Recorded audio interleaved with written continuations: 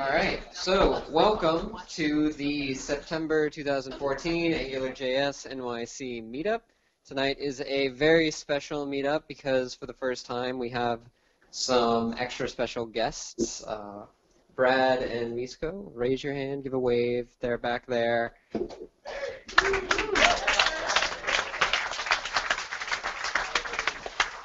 Probably the reason most of you are here, uh, at least indirectly, the reason why all of you are here. uh, so I'm going to start things off by giving a, a, quick talk called Directives, Tips, and Weird Tricks. Directives, Tips, did I phrase that weirdly? All right. Uh, and then Misko and Brad are going to do a Q&A with you all. Uh, we didn't set up any questions in advance, so it's all going to be live questions. And whenever that finishes, we are going to do our lightning talks. Lightning talks are not recorded. They are just five minute demos of something you've been working on, some GitHub project, some new library or component you've been tinkering with. Uh, and if you give a lightning talk, you will receive an Angular t-shirt, which we have somewhere. There. Okay. All right, so I will now get started. So, directive tips and weird tricks. Uh, a little bit about me. I my name is Jeremy. Uh, I am a, a front-end engineer on Google DoubleClick stuff, uh, the details of which you really don't want to hear. Uh, and I'm also one of the organizers for this meetup that you are all sitting in. Uh, so why are these directive tips and tricks I'm about to tell you important? So one, you're going to want to improve your karma. Build reusable components and share them with the world when you create things that you can share with other people, you are going to be benefiting the community, and that community in turn is going to benefit you by building other components that you yourself can use. And when you build really good components, you're going to get even more karma. And on top of that, it also makes your own project more maintainable from a more practical sense. All right. So I'm going to talk about three things in particular. Uh, one is exposing a sensible directive API. Second is organizing your directive internals. And three is some neat tricks or weird tricks, depending on your point of view. Uh, what I'm not going to talk about today is any performance issues, which is a big enough topic to warrant its own talk, and any visual design or UX stuff, which I am the least qualified person to talk about. So, first, creating a directive API. And when I talk about a directive API, this encompasses the entire surface area in which a fellow programmer is going to interact with your directive. This includes the markup they're writing in their template to put an instance of it on the page, the events that are emitted or processed by your directive, and the CSS that your directive defines even. So what the first thing you want to do with your directive API is make as much of it optional with sensible defaults. So you may or may not have seen directives exist before where in order to get started using it, you have to specify six different attributes on it, all of which need to be in a particular format that is not really documented very well. And it's for the better if we can avoid that. Uh, for all of the attributes that you're exposing, really think about whether or not you can make that attribute optional and what the most uh, sensible default would be for that. What would make the most sense? What's the most expected be behavior? Um, the and you also want to yes customize appearance and behavior via template attributes. Uh, namespace everything. Uh, the prefixes prevent collisions and it applies to all identifiers seen by the consuming engineer. So what we have here is a very bad example. Uh, it's very vague what's going on in some of these places. Here we just have a directive that's called menu. It emits an event called open. It has a CSS class called menu. These things are all going to collide with other things if you are building a project that is using components from a lot of different sources, um, especially for the CSS. Who doesn't have a CSS class called menu in their application. Uh, so a much better thing to do is to prefix all of these things with the name of your application or whatever namespace you're using. So as an example, I work on DoubleClick, so I used dclick here for everything. And another important note about prefixing is don't use ng as your prefix. Only the Angular team gets to do that. Uh, that is what signifies that a directive comes from Angular. Okay, uh, this is um, not so much about Angular, but general component design, but it is a really great thing to be able to document a CSS API for your components. So let's talk about an example of what I mean by this. So say you have some chip list widget or directive from another team or from GitHub or wherever, um, but your UX Mox or your product manager says that the, the chips in it absolutely have to be bisque. And so you inspect the markup and you look at the DOM structure and you see how, how much specificity is uh, there defining the background color. And you end up writing a CSS class that's like this one where it's like chip list, then it has a child UL that has the class chip container, that has a direct child LI that has the chip class, but not just any child, it has to be direct to apply your background color bisque. This is going to end up being really brittle, and if that component changes at all, that this wasn't something that they agreed to, uh, the people creating it, it could break at any time. So then you really just wish you could write a, a class that's just, or a, style rule that's just the chip list chip and set the background color on that. Well, you can if the people creating the components define a CSS API. So when creating a CSS API, you want to just use CSS classes, no element or ID selectors. The ID selectors can collide with other components also specifying ID selectors or other things throughout the application. And they also, along with element selectors, raise the specificity of your styles to a point where it makes it difficult to override them when you need to. Uh, you also want to avoid nesting classes for the same reason. If you need to define a style on a menu item, just do it on the menu item without necessarily being inside of a menu. And expose a sensible surface area such that it's easy for people to get a handle on the different parts of your component that make sense to style differently without going overboard. Obviously, you wouldn't want to add a CSS class to every single element inside of your components. So here's an example of what a CSS API documentation might look like for a very, very simple um, uh, component. Uh, we just have a menu that this class is applied to the root element, uh, another class that's applied to it when it's open, and a third class that's applied to each item. Really, you're just defining what classes you're exposing and when those classes are applied or what elements they're applied to.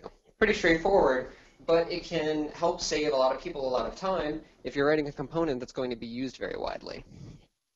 All right, so directive internals.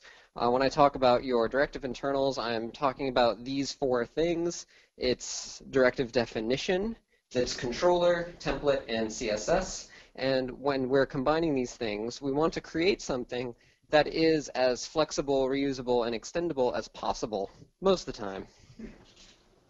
Uh, so the first piece of advice for this is to isolate and encapsulate, and by that I mean to use an isolate scope for your directives. Uh, an isolate scope makes it so that a, a directive is not a, a, direct inheritant of the, the scope from the rest of the page in which it resides, and this helps you avoid collisions of scope properties and also uh, some unexpected issues where you are writing properties to a child scope that don't get propagated back up to a parent scope.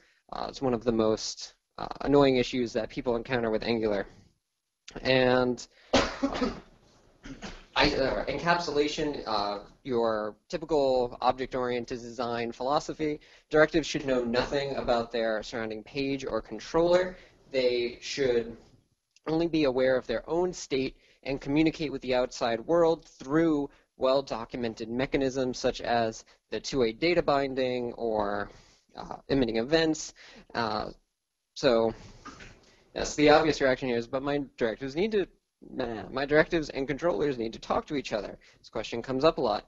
There are three different approaches to, to dealing like with this. So the first is the most basic one that I'm sure everybody who's used Angular to a certain extent has done is you're just exposing uh, event handlers or bindings on your directive. Uh, this is the standard approach that covers the majority of cases uh, where user interaction to a directive is handled by the page's controller. Uh, an example of this here, you have some widget that defines some action and you give an expression that is executed when that action occurs. Very basic. The second event, which is a little more advanced, is using uh, broadcast and emit on the scope to send and receive events. The, uh, these are going to propagate uh, up and down the scope hierarchy depending on which one you use. Uh, this is very situationally useful. Uh, it is applicable for instances where you have events that could apply to a broad scope of listeners. So if you have a, a number of components that could all respond to the same user interaction event, then this would be a good uh, a good solution for that. Uh, or you have some generic event that is not tied to a single component. An example of this would be if you had an event that was just something like panel open, and you had several directives that could all open a panel. This gives you an easy way of making a, a uniform API that something that needs to respond to panels opening could could handle. And it's also useful for having the directive respond to page controller actions for uh, for interactions that are specific to your application. So uh, this is this is the most specific case, and it's it's a little more complicated. The idea is you have your directive. It needs to update something about itself, the component, uh, based on interactions that are happening in the outside world uh, but because a general component wouldn't have any idea what kind of world it's living in, it tends to be more specific to your application. So if you're building uh, a directive that you know is only ever going to live inside your application, this would be relevant. Right? And the third and my favorite way of doing uh, directive and page controller interactions is to define a, a model state object to encapsulate some, some state and some commands between the two. So what I mean by this is say you have some page controller. This page controller is going to in, in, instantiate some state object that your directive is going to be bound to. So in this case, this page controller is creating an instance of a, a stepper state. This stepper state is going to be the model for your directive. In this case, it's bound via this attribute called stepper state, where you could also use ngModel or whatever other attribute. And the controller can then manipulate this state model in order to affect the state that that director is binding. In this case, it can call a function called next step or previous step or go to step. And the state that is living inside of that, that state model is what is being bound inside of the directive. Okay, and so now for the fun part of the, the talk, we have some neat tricks. Uh, these are things that kind of fall outside the bounds of normal application development and are things that you will start to get into if you are trying to do some really tricky things. So the first is rendering with polymorphism. Our goal here is to render a set of heterogeneous items known only at runtime. So an example of this in the application I work on is this filtering widget. Uh, so we have some list of ads, and we want to filter them on a very wide range of criteria we don't know what the filters are going to be at uh, like at design time. We only know what the full range of filters could be. We don't know which are going to be applied. And so each of these uh, each of these filters is its own little chip inside of this list, and clicking on it opens up a little edit form for that chip. We want to be able to just repeat over the applied filters and have one each render out its own specific UI just for that filter. And the way that we accomplish this is we bind to a list of models where each model is responsible for rendering itself. In this, in our particular case, we just create a whole slew of filter objects Uh, so for example, we have a date range filter and a multi-select filter, and each one simply exposes just a template URL, uh, much like a directive would. And when we want to render these out, we use this special, very, very small directive that does nothing except bind to one filter model via this filter property and has a template that is nothing but a single ng include for that filter object's template URL. And when we want to use that, we just simply here on the bottom, we repeat over the list of filters, and for each one, we render out that filter object. And the content of one of those filter templates would be something like this on the top, where it's whatever UI you need to manipulate that filter. This is really great because it lets you uh, encapsulate each filter, uh, have its logic live entirely within that model, and the the filter controls on the outside, like everything outside of each one of these individual chips, knows nothing about the contents that are going to go inside go inside of it. So it's very extensible, very easy to add more filters, and this is applicable not just to this filter idea, but to anything where you're rendering out a list of of components or widgets or objects that each one can have a slightly different appearance or interaction. All right, next trick is pretty straightforward. Uh, using one directive controller with swappable templates. So you might have some UI components that have many, yeah, many visual flavors, but are driven by the same logic. So an example of this is a, a stepper or a wizard, a tab bar, a bar chart. Uh, so this is one that we have in our application we have this stepper, which is a wizard-like component, and it comes in both a vertical flavor and a horizontal flavor, as well as a mini stepper or a mini horizontal stepper. And so the logic for driving each one of these is pretty much exactly the same. You have some list of steps. You want to repeat over them, render out their title, their content, but where you render each of those things is different. Fortunately, it's very easy to create multiple directives that all use the same controller. In this case, we've created this stepper controller and simply just define a different template URL for each one. Uh, this lets you very easily create new layouts without changing any code. And it also has the nice side effect of forcing you to keep your controller API generic enough to support any kind of stepper. All right, my last neat trick I call manual transclusion with ng include. Uh, this one is for when you want to transclude multiple repeated sections into a directive template. Now that sounds really complicated. What do I mean by that? So normal Angular transclusion can be thought of as a picture frame. You have some directive that's called picture frame and it renders out this lovely silver frame. But you want to put some content in it, so you say anything that's inside of my directive is the picture. So in this case, we have a picture of Glorious Leader. Uh, Angular gives you a very easy mechanism to do this. It's just simply the ng transclude directive.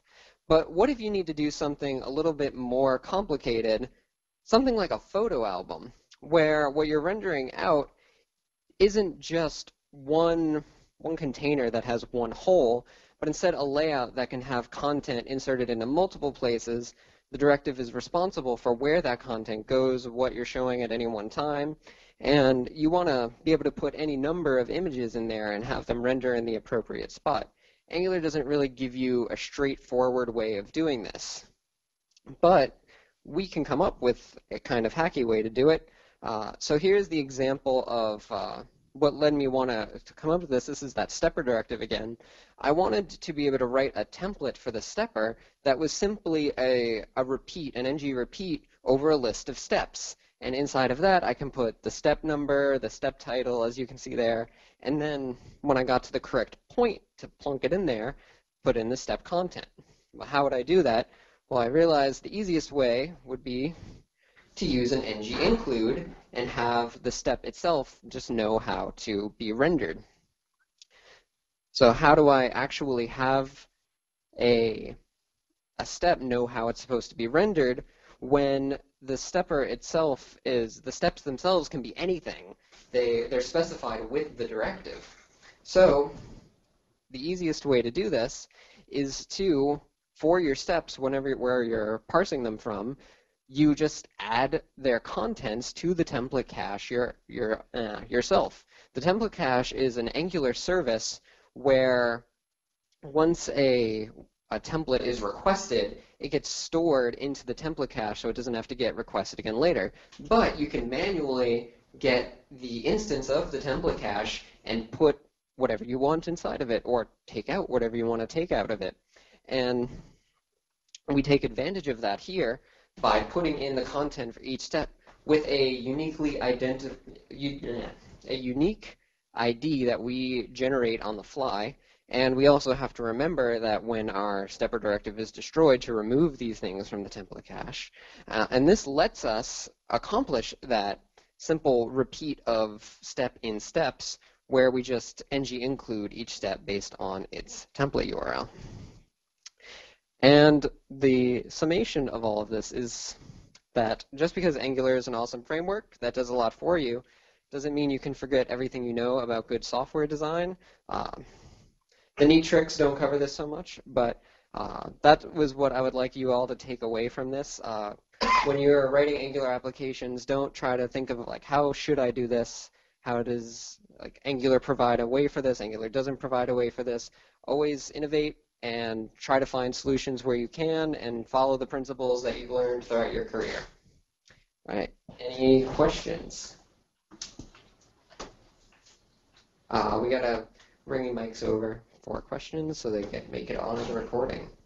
Hey there. Um, so when we're talking about directors communicating with other things, um, one way that directives can communicate with other directors, say, uh, is obviously by having a require and using the controllers of that. Do you think that's a reasonable way for, directives to communicate with each other? And if so, is there anything that we should be aware of in writing APIs for those controllers? Oh, absolutely. That's a great way. I was more talking about having directives interact with what is in the rest of the page as opposed to a, a parent directive that it knows is going to be there and is required by API design.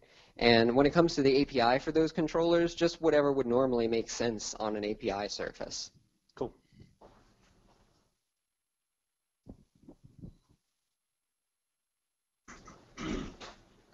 All the way over there. oh, he's coming. He's coming this way. Oh.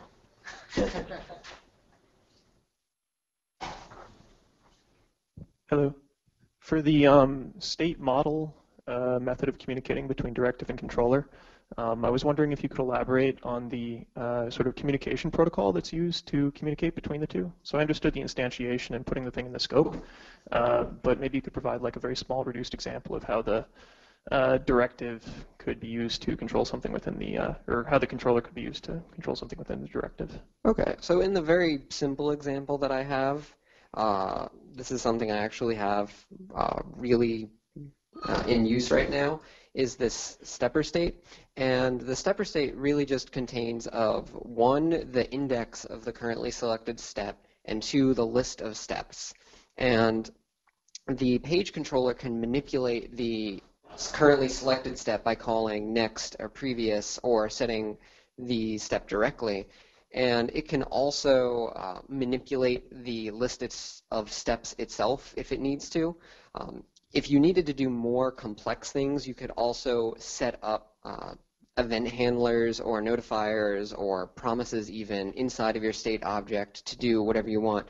The idea is that anything that your page needs to do that is going to cause your directive to do something is exposed as part of the API surface on this state model, and the directive is either watching it or binding to it or uh, listening for promise resolution or uh, event callbacks or anything like that.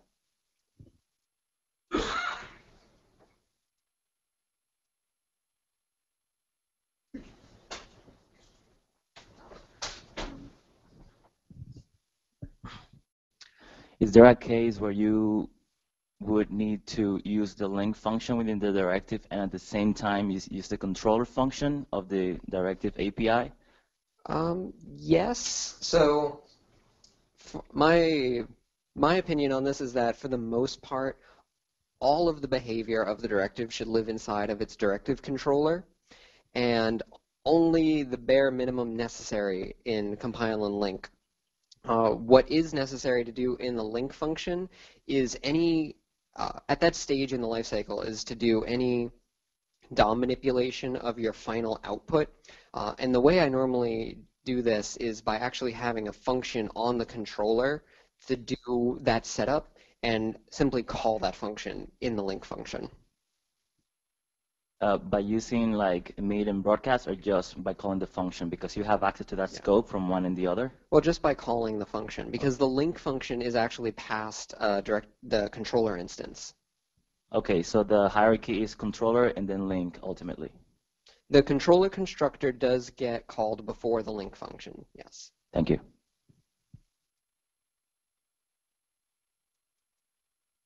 Jonathan has a question.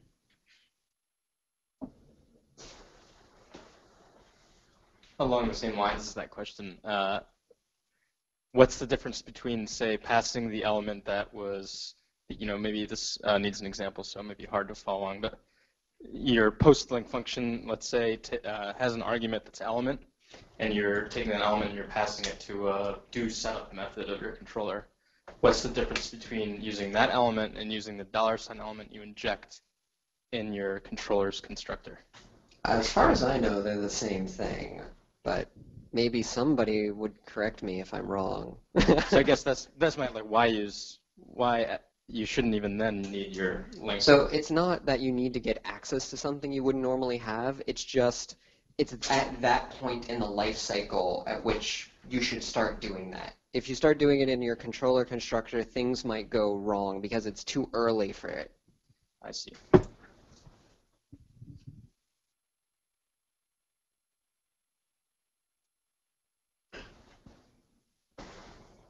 From the perspective of encapsulation, uh, instead of binding things between controllers and directives directly, wouldn't it maybe make more sense to use a service as a third-party intermediary for consistent state?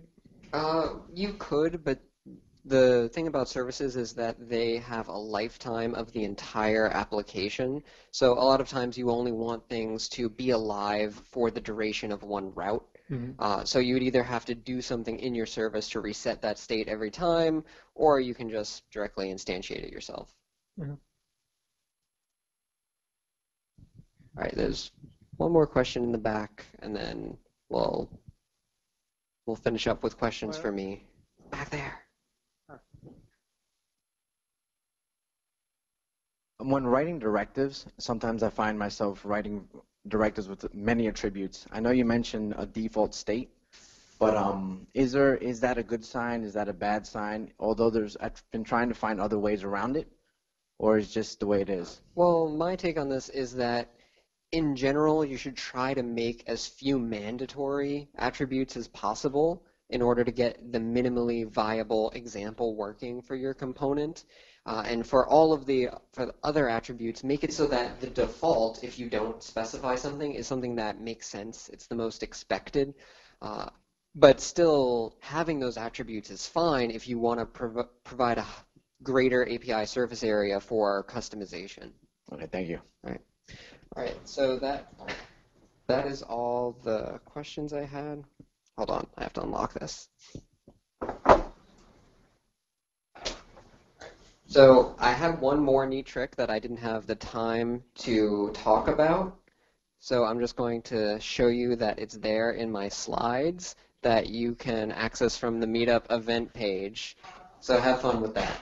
And that's all for me. Uh, we're going to take a five minute break and then do our Q&A with Brad and Misko. Thanks, everyone. Um, okay, we're gonna start. Uh, we have a couple of very special guests who just came from California. So we have Miško, he invented Angular, and we have Brad, he's the manager, so he made it happen. He got the budget, and he manages the Angular team. So welcome.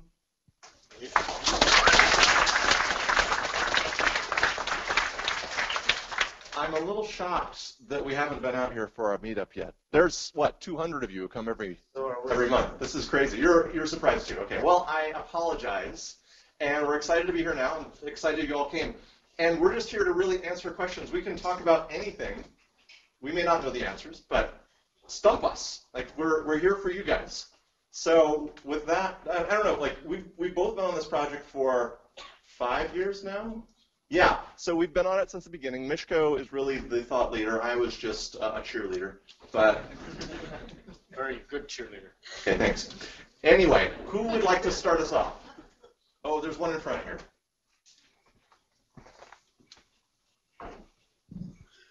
What was the motivation to create Angular?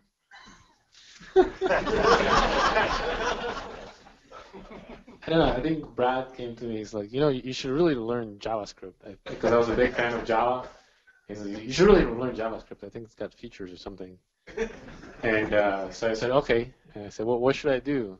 And I said, the first thing that popped in my mind was like, oh, I know, I'll build a framework. Not quite, but. Um, I mean, so so we, we tell a more formal story where we were actually on a, a project, an internal tools project at Google, and Miško had been working on this JavaScript. Yes, it's true. I told Miško you should learn some JavaScript. There has there's a future in it, and he has been working on this thing on the side. It was sort of an external open source project, and then he decided, well, I think I could do this project better by using Angular on it. And he boasted that he could rewrite the project that we've been working for six months in a couple weeks. I said, well, sure, go for it. Why not? Like, what can I lose? Uh, he failed. It took three weeks. So, so that's when we kind of knew it was it might be something good. All right. Next question. Yeah, over here, Mike.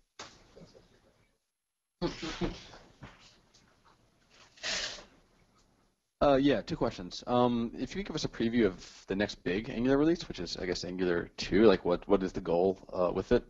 Uh, and then the second part, which is uh, a fun one, I guess. Uh, somebody uses Angular in the enterprise. When do you anticipate dropping support for IE9? oh, I'll take the first one.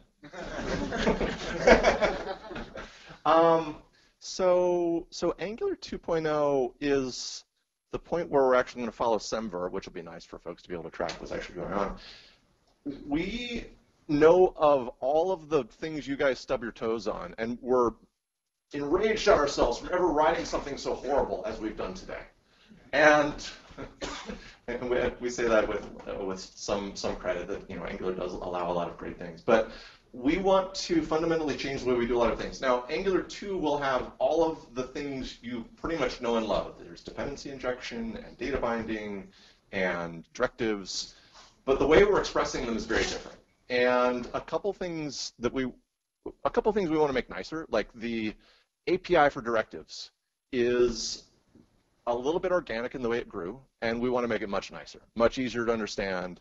The same way across the systems, like we have the, the, across all of the other APIs.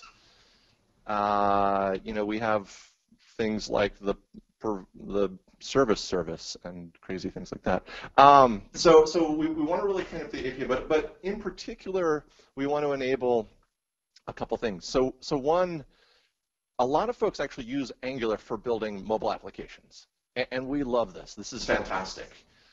We've actually not done anything special to help you guys, and we want to help you in a very, you know, material way where it's uh, it's obvious and easy how to make them perform well from startup through all of the phases of an application. It's easy to integrate gestures. Um, like we we just like to think through a lot of the pieces. Uh, and then uh, a last a last place that we're focusing a lot of effort, kind of at the other end of the spectrum, although a lot of the problems are shared, is for very large applications. Um, in pro probably kind of at the enterprise end of the spectrum, how do we how do we make sense of uh, huge teams of you know, potentially hundreds of developers writing a code base and making these very large apps possible to create? Miško, do you have other things? You covered it. Okay. And then Miško is going to talk about IE9. I know nothing about IE9.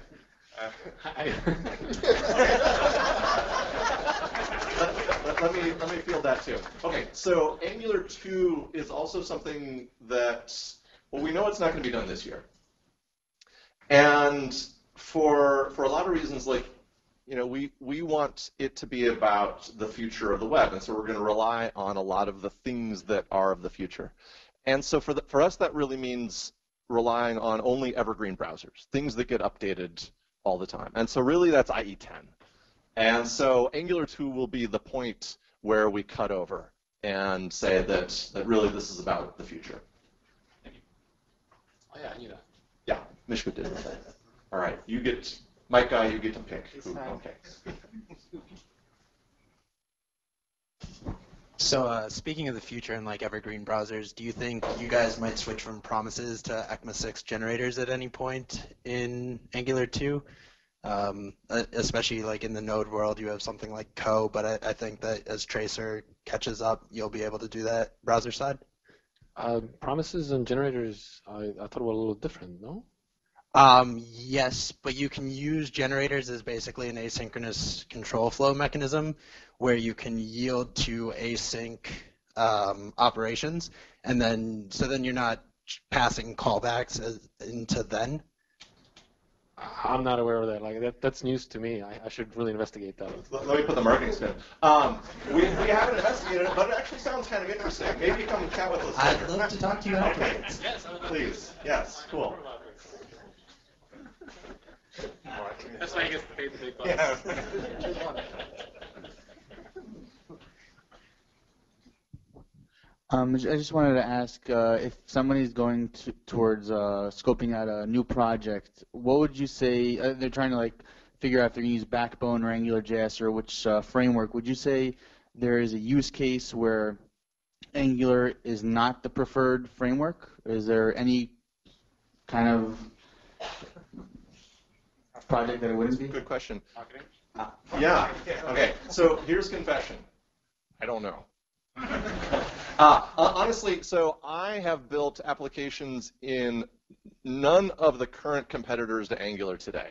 Uh, I only know through through reputation that, that there are other ones. Um, and, and, I kind of know at the surface API level kind of what they're about, but I can't I can't really give a uh, a good recommendation. I would go ask folks in the community who have used uh, Angular and other ones that you you care about the thing I usually tell folks is don't let other people decide for you. Go write something significant in the libraries that you care about, in the frameworks that you're interested in exploring. Decide for yourself.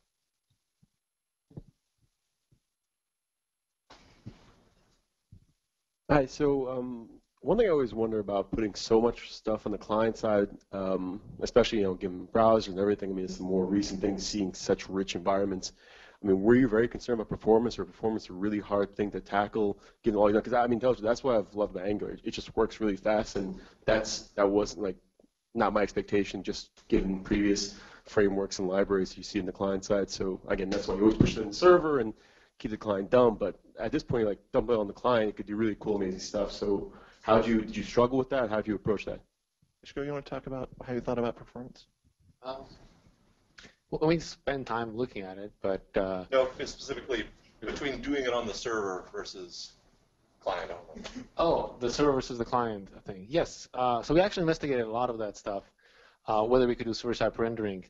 Uh, we actually did some experiments, and we were actually able to render a UI in, in something like 200 milliseconds. This included downloading AngularJS, parsing the data, parsing the index HTML, and, and so on. And so when you reach such numbers as 200 milliseconds, like, is, you know, what, what else can a server-side pre-rendering do?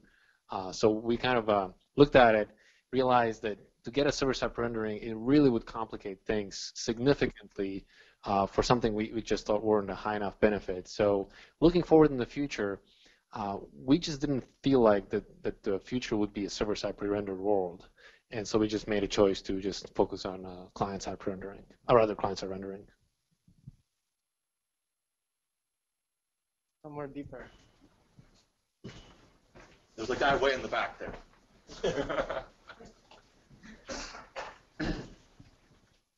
um, so related to that question on performance, um, So I've noticed, for instance, when I load the Angular docs on my phone um, over my 3G connection, it takes to get to a specific doc about 20 seconds maybe, because it's downloading Angular over 3G, it's then making all the requests, download all the data over 3G, versus when I download the entire Vim manual, which is huge, it takes about two seconds, because it is just a single static page. Now obviously documentation is not really the ideal use case for Angular, or a client-side app. Um, but I was wondering again, is there anything you can think of to do to speed up use cases like that, or just don't use Angular for things like that? Uh, for documentation, so our documentation is pretty rich. You know, there's examples built into our docs, uh, and this is the primary reason why uh, it takes so long. Uh, you visit our examples, right? When you go into a particular page, there's actual live app that gets loaded inside of it, so you can interact with it. Uh, so essentially, there's two Angulars: one for the for the of the documentation itself, and a second Angular for the application in there. Uh, so that's part of the reason why it's it's slower.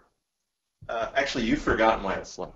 Why is it slow? And, and, when we were built, so Miško and I built that site that you, you look at for the most part. The library that you picked to do the code rendering has a long latency on it. Yeah, that one too. Yeah, so we should fix this because it makes our site look bad for Angular. But it's actually like if you go look at it in a profiler, I think the thing that's the long bar is the thing that renders our code. Prettifying. The prettifying the code. So, so how about we could go fix that for you, and then. All right. How about the guy way in the back? Way back there, going super deep. Hi. Uh, one of the big concerns when picking Angular for an application is crawlability, and that's one of the big caveats that a lot of people throw up when they want to use Angular, especially for consumer-facing applications. So what is Angular, or for that matter, Google, going to do to help make um, single-page applications more crawlable and SEO-friendly? Right. Yes. Today, if you want your Angular application to be crawled, you have to create a side channel where you've pre-rendered the content. Well, we're about to get there. Um, uh, and, and, there are many services to do this. Um, that, and we, I've blog posted about this before. But by the end of the year, Google's crawler will render all JavaScript. And so there'll be nothing to do. And as a matter of fact, on Webmaster Tools, you'll be able to go preview what your Angular website or your website written in Backbone or Ember or any other JavaScript framework will look like. So, so there'll be zero to do, this is what they tell me, uh, by the end of the year. Is that good enough? Cool. All right. Next question.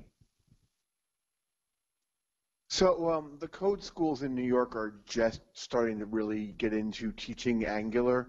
And one of the things that we found is that a lot of the documentation, even the basic documentation, is at a very high level. Uh, from the perspective of people who have actually built Angular, is there a place for the junior Angular developer, or is Angular just too complicated for junior developers to touch? That's a good question. So uh, I don't know. We, we'd, we'd have to find some junior developers and ask them. I think there are junior developers who are being successful. In particular, there's two places I recommend. One is egghead.io, which I think is fantastic. And there's a course that I help build on codeschool.com. And CodeSchool, I think, is a very nice spoon-fed path with some entertaining content along the way. So if anybody's really interested at, at a very, inter- I just learned JavaScript, what could I do next? I would say maybe look at those two places. Write the song? I did not write the song, but I, it made me giggle when I heard it. Maybe over here. How about this lady in front? Or ignore me, it's fine. Um, I think you've done a fantastic job, but some of the issues I keep running into, in particular around the dependency injection, um, not being completely isolated to the module. Uh, is there any hopes of fixing that before 2.0? you can ask more questions. Marketing or? No, no, just tell them the real answer. Uh, the real answer to it is that we need a hierarchical injector to, to fix this, and it's going to be fixed, definitely fixed properly in 2.0. Uh, we know this works because we have it prototyped, well, not prototyped, we have it working on Angular Dart World, uh, so it's just a matter of bringing it back to JavaScript World. So no before 2.0? No. Good question. You could use Angular Dart. Uh, can we uh, maybe um to the front there, and then we'll, we'll come around. Hi, um, I represent the junior developer contingent. Ah, good. Tell us.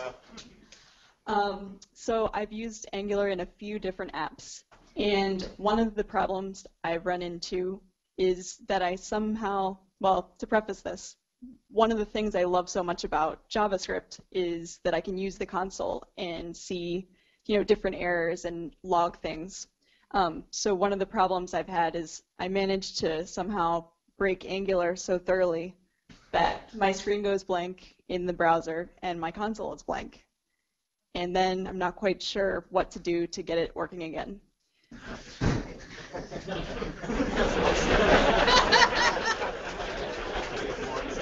So my question is, uh, is there a fix for that, either on your end or Did, did you clear the cookies? so uh, this it's a, this is a slightly impossible question to answer, but we we have a project in the labs that I'm hoping will be a good thing for everyone because in JavaScript in general, it's kind of easy to wedge yourself in weird off-road places. Brian Ford on our team uh, took some interns in the summer and he built what we think is the next level of sort of self-documentation for the project. Uh, I think he's calling it ng hint. Is that his project? Miško doesn't know anything tonight.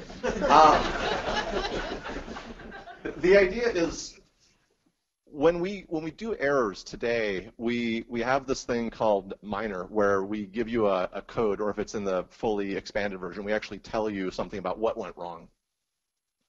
We've built a framework where we can be much smarter about the dynamic sort of execution behavior of the system and tell you important things about, hey, you're doing this thing that we think is driving off road.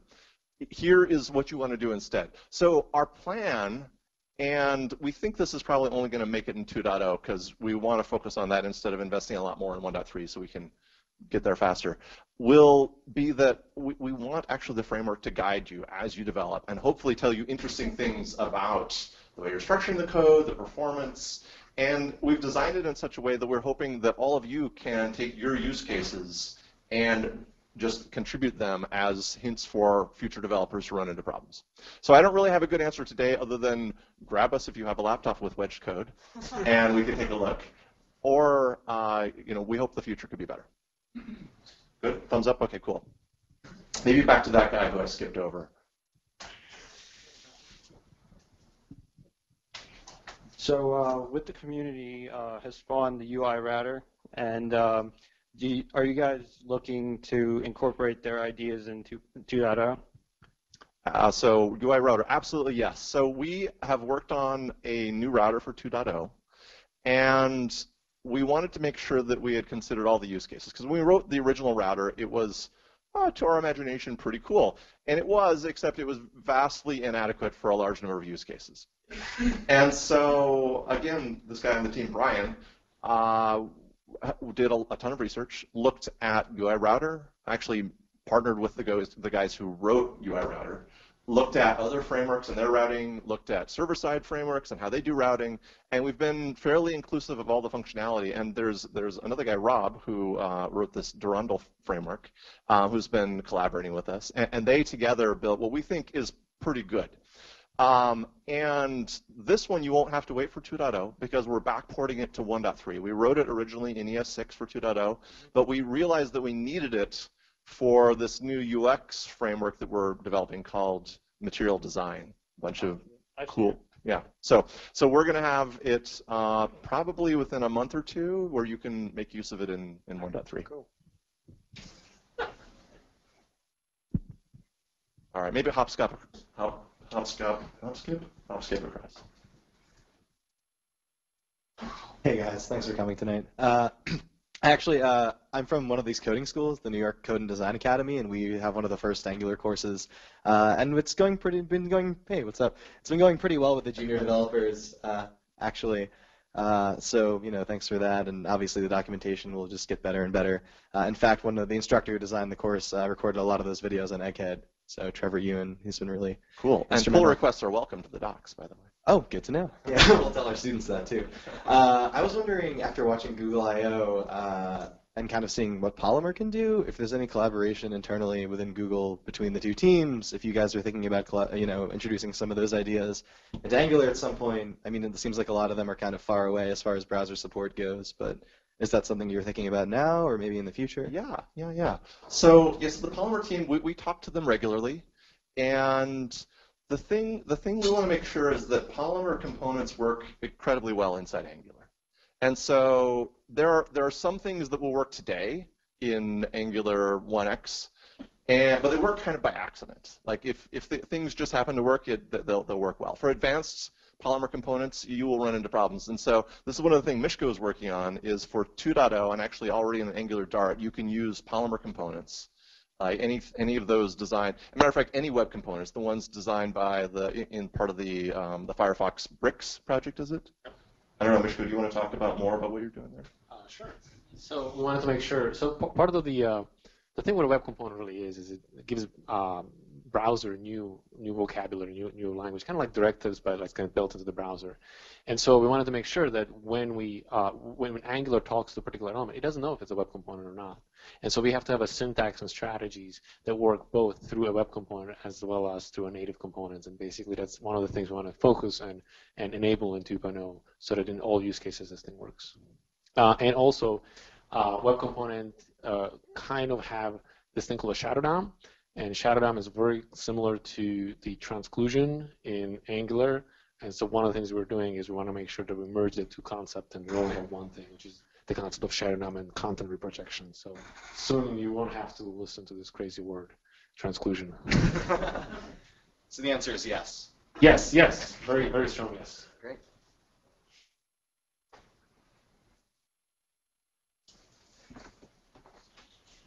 Uh, hello. Uh, first of all, congratulations on the uh, RC for 1.3. Uh, very exciting to start using that. Woo! Uh, yeah, definitely very exciting. One one-time binding. Very excited for that. Um, I have three questions. Uh, hopefully that's okay. No, I'm sorry. Actually, I have four, but I'm not going to say it. Um, so, uh, first question is uh, curious what the first milestone for Angular 2.0 is. When that you're looking to hit, what that's going to consist of. Uh, should I just? Yeah. All right, so Angular 2 is all vaporware. We've written a lot of design docs. if you notice, there are actually some demos. Hey, we, like Miško's defensive. Um, so Miško would say that what we're doing in Angular Dart is sort of a prototype for a lot of the direction that we want to go. And so if you want to get a preview of what the APIs will look like and some of the advancements we're making, like merging this idea of transclusion with the the shadow DOM, uh, con- content elements, hierarchical injectors. Yes, yes, a, a lot of good stuff is already hitting. Um, there there is a next level of things that we want to do where we're going to stop just putting them into Angular Dart and we're going to merge the two API sets. We have a crazy idea. Should I talk about it? Sure. So we have this crazy idea where we think we could write the whole project in ES6, the next version of JavaScript, and then generate Dart. Now, this won't work for everything. Won't work at, at the DOM-specific API level and, and some other places. But we could do all of the core logic in ES6 and then generate ES5 that runs in today's browsers and Dart so that we could really have one project and have the two APIs be in sync, develop the same shared tests, there's a lot of dissension in the team whether this is actually possible or not, but this is our hope. I forget what the original question was. I've talked so Oh, much. I have two more. Okay, go for it. Oh, I have one follow-up for the annotation. Maybe just one more, and then grab me afterward for number three. Okay. Um, so actually following up on the ES6 question about uh, the brouhaha that erupted over the uh, annotations with ES6 Plus. Uh, I'm curious if you're still crossing your fingers that it'll become a part of ES6, although I think that window is closed. Um, So our annotations that we're adding to the language.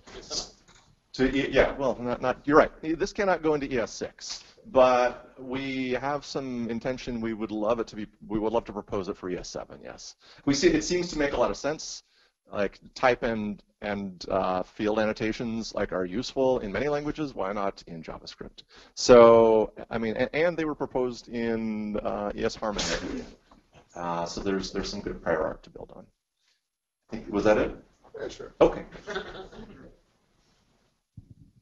Um, in the Angular future or the future of Angular, is there going to be uh, a proper namespace system? Like, is this going to be addressed by the hierarchical DI system? Um, like, namely, if I import a module, I have to be uh, aware of whether there are any collisions. There's no dot notations, and I can't like specify uh, a directive as public and like a service, an internal service as private. Um, and like, I've had bosses. Uh, who've been very reticent about using Angular for precisely this reason. I'm just wondering if this is going to be Your addressed in the code? future. Uh, they did, Okay. and that's why we couldn't override them. Good. Good. So go ahead. Mine doesn't code anymore. uh, the short answer is yes. Uh, all of these things are going to be answered. If you, if you want to go to details, uh, this is going to be done because in Angular uh, JS, as it is currently, the string is the key. Uh, in Angular uh, 2.0, the key is going to be actually the type itself. Uh, and because of that, uh, if you have two separate types, they could have the same name, that's not a problem. They're actually not pointing to the same constructor function, and therefore they're two different things, and that's how we know that they're different stuff. So it's going to be all properly namespaced. Sorry, Brad. There's a guy way in the back again. Okay. next one. Okay. So in the uh, documentation re- where you guys were writing out your ideal project layout, uh, you guys talked about the uh, you know promise of standard standardized project layout, allowing you guys to create tooling. Do you have any you know is that actually a real thing that you guys are working on? Any preview in terms of what that tooling might be? I'm going to embed this answer on the spot. I know we said that. I think we have a little bit lost sight of handling the tooling on that. And maybe that's something we need to pick up again, or maybe that's something that somebody else sharp could pick up. I don't have a good answer.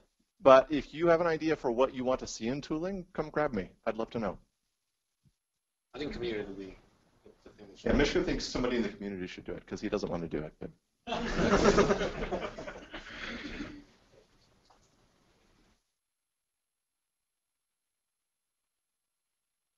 Um, I have two um, questions. The first one is um, I managed to learn Angular in about three weeks by taking an open source app, um, uh, Angular app and ripping it to pieces. That's how I could figure out how the pieces fit together and uh, how I could uh, see how to build each of the pieces. And um, as far as um, I would like to have that, that you, you supply us with a library of open source Angular apps uh, that include the, your most complex concepts so that can, we can rip them apart and see how they work. Because at this point, there's almost nothing, and I'd hate to have to rely on the documentation um, and take my chances there. Uh, the, the second thing is, as far as being a junior Angular uh, developer is concerned, I can't tell the difference between a junior one and a senior one. To me, either you get it or you don't. You do or you die. I, like black and white worlds when they're painted in front of me, so that I may blur the lines. Uh, you know, I think uh, you you might be sad if we were the ones who wrote the complex apps. There, there are many other good learning resources that explain the later stages, the later things you run into in apps, and I think there's there's many good books. Um, I think like the one by uh, Peter Bacon Darwin is very good. That came out kind of early in the Angular life cycle. One that came later, which I think by Ari uh, Lerner, is called NG Book. It- It's very thick, and it goes in, I'm seeing some nodding of heads. It goes into a lot of the deep use cases that you'll run into. Also, I mean, I didn't mention this ear- earlier, but Pluralsight has some very extensive courses that cover Angular. So if you wanted some sort of more handheld, do exercises type environment, one of those things is what I would recommend rather than, like, I think the thing you're describing is maybe for some people love to tear apart big apps and see how they, they work. All of these things that I mentioned have kind of painted pictures about, about larger scale applications and how they fit together. There's a guy in the back again. That's another guy in that back. I know you guys mentioned for enterprise. Um, one thing that I guess we struggled with was HTTP and dollar resource, and we found comfort in REST Angular. I know there was a brief discussion about that on the docs. Um, can you explain a little bit more about like, do you guys see, um, I guess, incorporating something similar that's more like promise based, or you know, continuing let the community take it over? You wrote you wrote uh, the original Yes. resource. You want to talk about what you think the future could be? Sure. Uh, yes, I, I did write original resource, and it was kind of a quick hack just to kind of get something going. I didn't realize it was going to become so popular. Uh, I think the Restangular guys have spent a lot more time thinking about this stuff than uh, than we have. Now the question really is, do we want to uh, take on all different possible use cases, or do we want to let the community kind of flourish around this? And I'm personally of the opinion, and I like the community. I like what you guys have been doing so far, and the amazing different projects that have kind of filled in the voids. And I think this is the right way going forward. Um, so having said that, though, I think we are going to uh, revisit the whole uh, data persistence layer and, and see if we can make it more of a pluggable architecture where others can, can come in and play. Did I miss anything? That sounds right. Thank you.